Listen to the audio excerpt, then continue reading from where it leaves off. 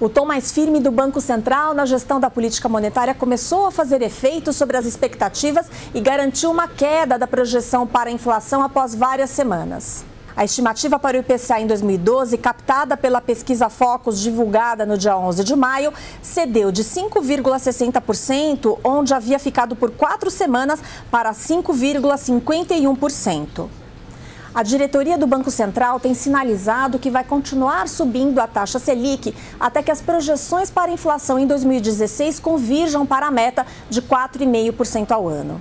Portanto, essa queda na projeção da inflação foi vista como uma primeira vitória do Banco Central nesse esforço, mesmo que pequena. Ela também foi suficiente para influenciar as taxas de juros de longo prazo que cederam durante a semana. Esse movimento foi alimentado também pelo dado decepcionante de vendas no varejo de março, que caíram 0,9% em relação a fevereiro, bem abaixo do esperado. A Bovespa monitorou de perto o mercado internacional e encerrou a semana perto da estabilidade. E o dólar voltou a testar o piso dos R$ reais, movido pelas apostas de que juros mais altos podem atrair mais capital externo ao país.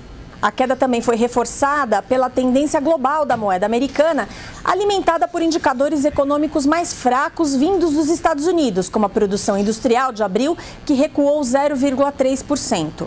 Esse dado reforçou a aposta de que o Banco Central americano será muito cauteloso na condução da política monetária por lá.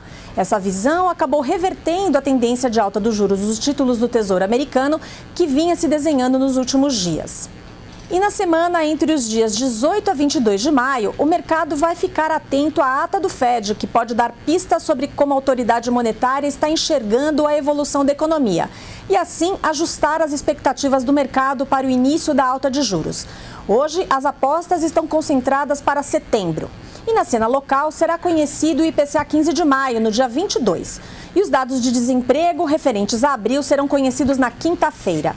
O aumento da taxa de desemprego na pesquisa do IBGE é apontado como um dos elementos que contribuirão para a queda da inflação de serviços e, assim, terá importante papel na definição das expectativas do mercado para a política monetária no longo prazo.